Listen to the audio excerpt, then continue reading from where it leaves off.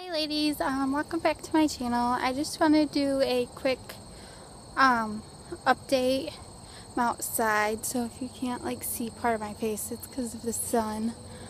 Um, okay, so I am 10 DPO. Um, on cycle day 21, 7 DPO, I actually had a progesterone level test done, and um, on cycle day 22, I got a call from the nurse um, my progesterone level was 46.9.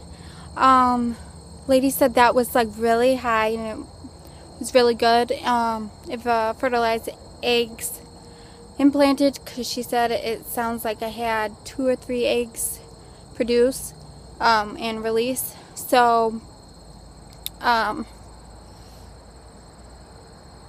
so that's that.